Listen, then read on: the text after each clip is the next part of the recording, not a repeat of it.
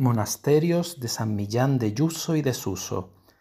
El emplazamiento de la comunidad monástica fundada por San Millán a mediados del siglo VI se convirtió con el tiempo en un lugar de peregrinación. En honor de este santo se construyó en Suso una bella iglesia románica que se conserva aún.